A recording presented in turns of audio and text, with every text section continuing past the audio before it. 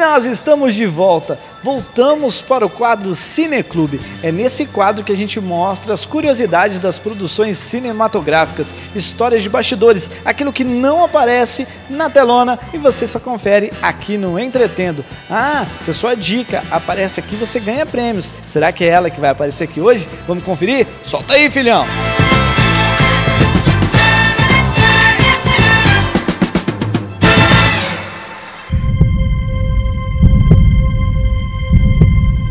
me. Never. Adivinha qual é o filme que escolhemos essa semana? Isso mesmo, amigos, com a estreia de Amanhecer Parte 2. Vamos conferir a primeira parte aqui no Cineclube. O filme foi lançado no ano passado e é o quarto da saga Crepúsculo. Só para recapitular, essa saga é adaptada dos livros de Stephanie Meyer. Para quem não está familiarizado com a história, vamos relembrar. Bella é uma garota de 17 anos que se apaixona por um vampiro. No segundo filme, ela descobre que seu melhor amigo é lobisomem e vive para matar vampiros. Na continuação, Bella corre perigo por ficar próxima dos vampiros e precisa fazer a escolha certa. Em Amanhecer, vemos que ela escolheu o vampiro e está prestes a se casar com ele.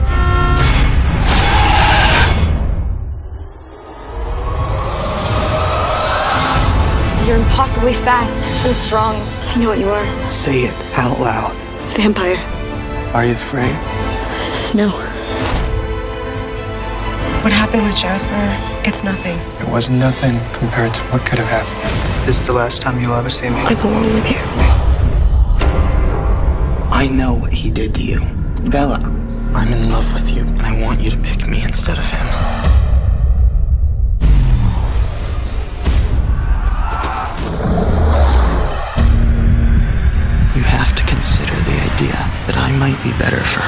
As filmagens das duas partes foram feitas ao mesmo tempo e duraram de 6 a 8 meses. O clima foi sempre alto astral, até porque a maioria das pessoas já se conhecia desde o primeiro filme.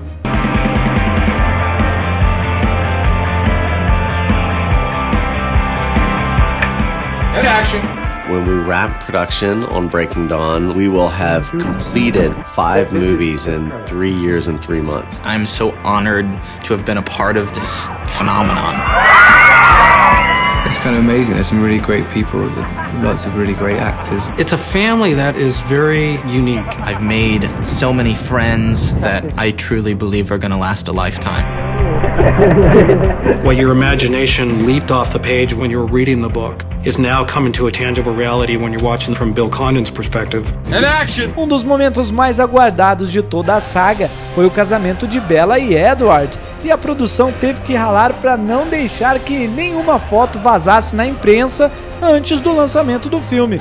O local dessas filmagens foi todo coberto para evitar que fotos fossem tiradas do alto. I've been waiting a century to marry you, Swan. I know I can do this. Breaking Dawn Part 1 begins with an invitation to a wedding. This is a relatively momentous moment for the series. You ready?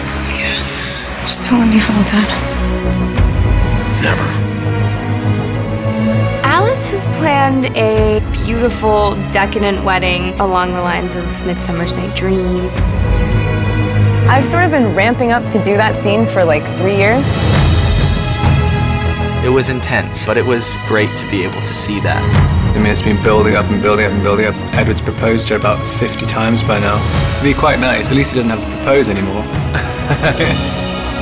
I think that's going to be really exciting. I think it's beautiful. I, I love it. Love you. A lua de mel do casal aconteceu no Rio de Janeiro. A equipe veio ao Brasil e podemos ver um pouquinho do nosso país durante o filme. O ator Robert Pattinson precisou de aulas para pilotar um barco na cena rodada aqui. We're here in Rio de Janeiro. Our first day of shooting, day one of 101 days. Great. Pulling. We're moving up the hill. Everybody grab something to carry.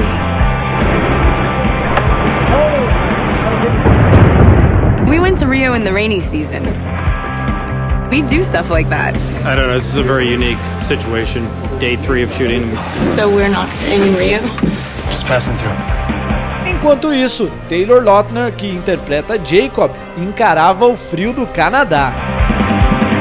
It's the first day in Canada. This is painful. You finally get to see Jacob take the leadership role that he's always been destined to. He has to become a man and, you know, do the right thing. I want them safe, and I want this over. A cena da primeira noite de Edward e Bella quase foi responsável por deixar o filme impróprio para menores, mas foi reeditada e as partes mais quentes, digamos assim, ficaram de fora. E tem muito mais nessa história.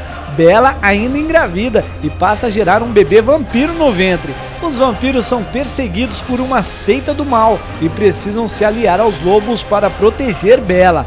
Ah, vou parar por aqui, né? Senão daqui a pouco conto tudinho. E se você quer saber como é o fim da história, precisa assistir a esse filme e depois Amanhecer Parte 2, que é a estreia da semana. Yeah.